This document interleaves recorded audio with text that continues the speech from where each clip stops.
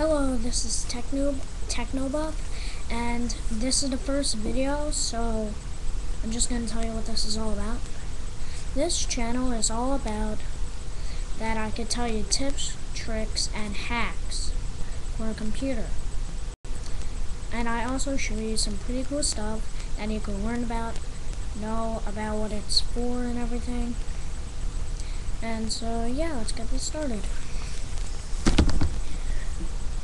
Here is an external hard drive,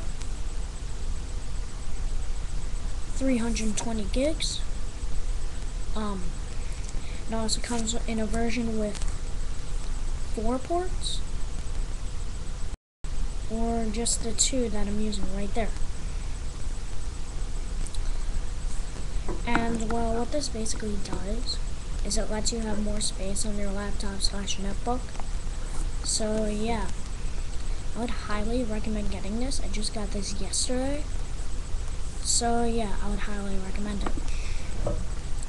Also, one that I don't have right here with me is the Dell Inspiron Duo. It is a laptop that can convert into a, a tablet PC and just a flip. I would also recommend the Dell M109S.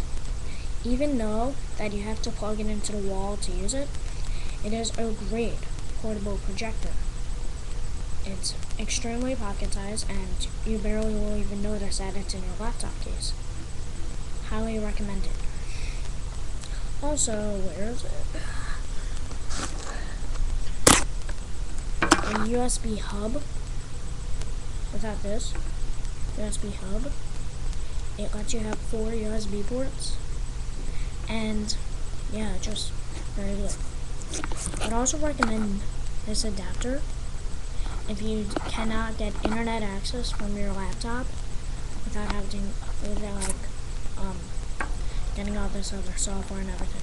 So if you don't have internet internally, get one of these. It does um uh, it was the one in the middle price. So yeah. If you have a netbook, I'd recommend getting Toshiba disk drive. Just like this. And well, that's all I have for today.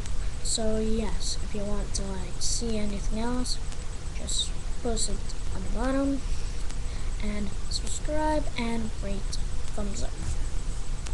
See ya.